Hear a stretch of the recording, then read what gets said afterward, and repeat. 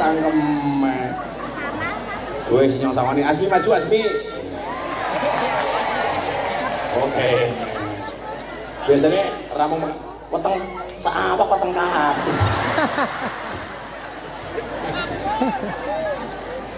Umurnya pira? 21. Raimu tua temen. Wis rapi dulu. Sampun. Kesembilan deh kan. Kalau kayak penting Eh, cantem ya. Satu, dua, tiga, empat, lima, enam. Enam orang.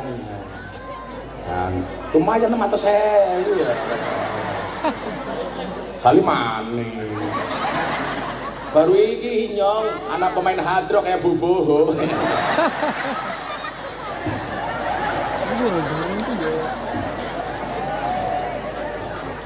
Ya Allah. Eh? Apa? Ini santri. Santri juga minta. Sorry, aku kalau sama cewek gak mau ngasih uang. Maunya kasih nafkah. Iya. Ini pengajian amplop jelas dirampok. Santri ini bila. Hah? 30 akeh temen ya. Modar kayak ini. 30 kali 50 berarti beda. Oh satu setengah juta. Apa temen? Bangkrut. Ya ora apa-apa. Iya sugih. Namanya siapa? Dipakai mic. Eh? Eh, mic-nya mati. Innalillah. Safira. Safira umur pira? 10. 10. Iya jenenge siapa? Ustaz Miftah. Iya. Miftah Miftah gitu. Cita-cita pengen jadi apa? Guru. pengen guru cie gak pengen mendampingi Gus Miftah begitu anak kecil emangnya nyong saya puji orang tua punya prinsip ramenya anak kecil ganggu khusuknya orang tua anak kecil juga punya prinsip khusuknya orang tua ganggu ramenya anak kecil. Ini masa depan kita. Makanya kalau saya di pondok sore ada anak-anak dinia saya seneng pak. Mereka lari ke sana kemari ada bakul bakso saya panggilnya bakso sini masih masih gus. Ya sana jual lagi.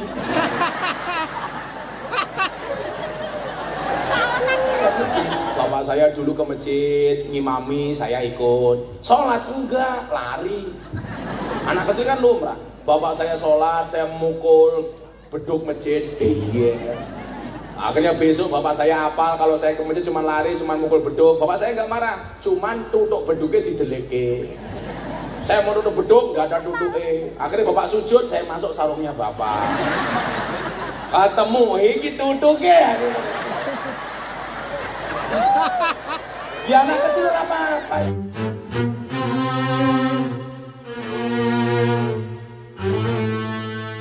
Wes ki bocah Asmi dan kawan-kawan sangoni cah kira. 6 6 peng 10 ewu 60 ribu.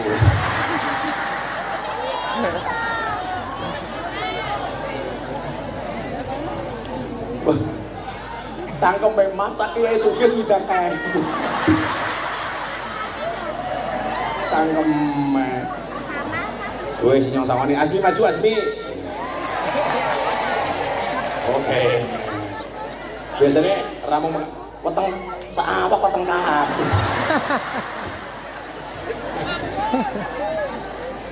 Umurnya pira? 21. Raimu tua temen. Wis rapi dulu. Sampun. Yang mana kesembilan deh kan. Kalau kayak penting kayaknya. Eh, cantem ya. Satu, dua, tiga, empat, lima, enam, enam orang. Dan lumayan enam atau saya ya. Kali mana? Baru iki nyong anak pemain hadro kayak buboho.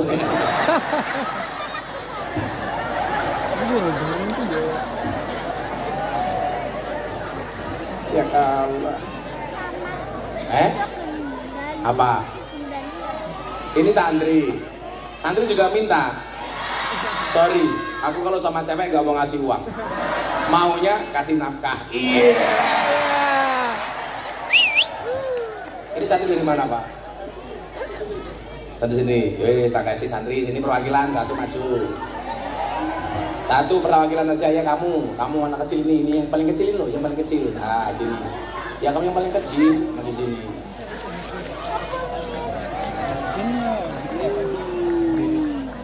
Iki pengajian amplop ora jelas dirampok.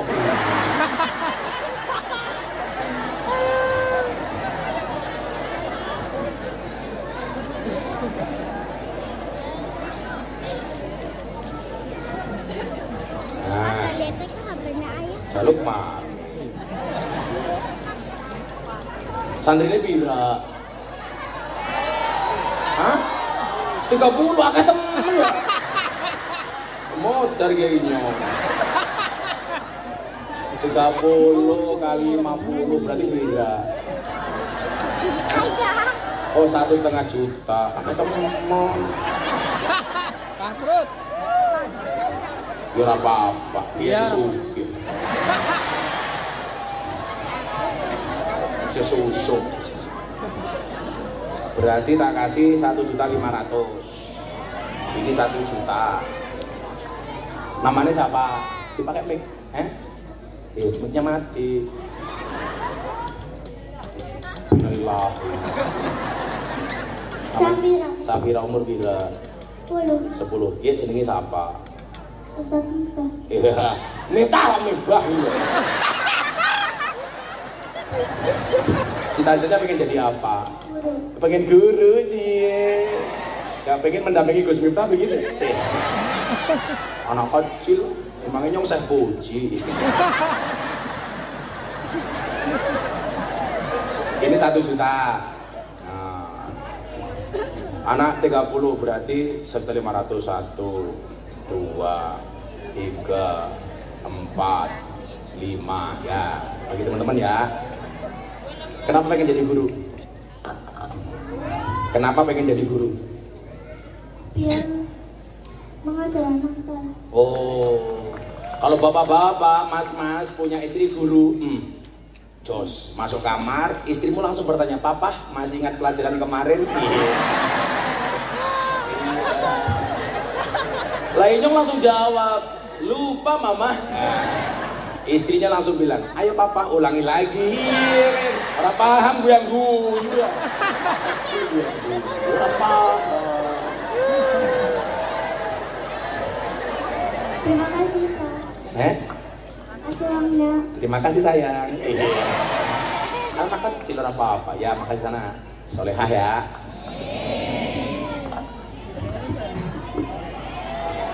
Ah, apa nih? Oh, saling.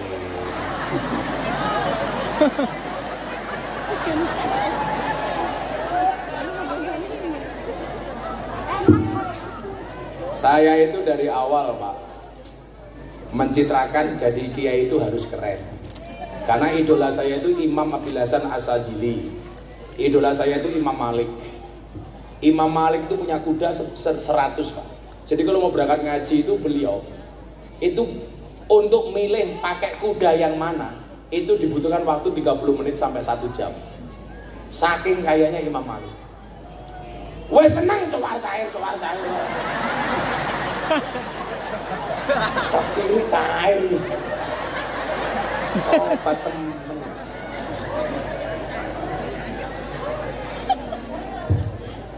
Saya itu suka sama anak kecil kenapa? Di dalam surga itu besok ada satu tempat namanya Darul Faroh. Darul Faroh itu tempat paling menyenangkan di surga. Ketika ditanya itu untuk siapa wahai Nabi? Darul Faroh itu akan diperuntukkan bagi orang yang membahagiakan anak kecil. Makanya masjid kita itu harus lama anak kecil. Jangan sombong. Kadang-kadang orang tua itu kan egois. Apalagi waktunya Ramadan masjid rame. Anak kecil nggak boleh ke masjid. Nanti rame ganggu khususnya orang tua betul? Itu salah. Kalau orang tua punya prinsip Ramenya anak kecil ganggu khusuknya orang tua. Anak kecil juga punya prinsip, khusuknya orang tua ganggu ramenya anak kecil. Itu masjid tidak ramah anak-anak. Kalau saya biarkan anak rame di masjid kan lebih bagus, Pak. Daripada rame nih jalan ya. Mindset orang tua itu perlu dirubah.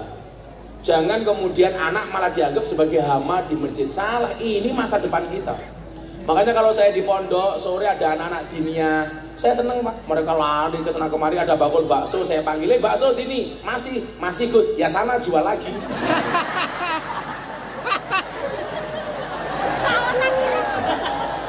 ya saya beli kok, masa enggak?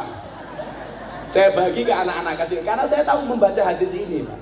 Ada satu tempat namanya Darul Farah. Karena kayak saya ini Pak, itu produk masjid. Bapak saya dulu ke masjid, ngimami, saya ikut. Sholat enggak, lari. Anak kecil kan lumrah. Bapak saya sholat, saya mukul beduk masjid. Iya. Akhirnya besok bapak saya apal kalau saya ke masjid cuma lari, cuma mukul beduk. Bapak saya nggak marah, cuman tutup beduknya dideleke. Saya mau tutup beduk, nggak ada tutupnya. Akhirnya bapak sujud, saya masuk sarungnya bapak ketemu iki tutuke ya anak kecil apa apa ya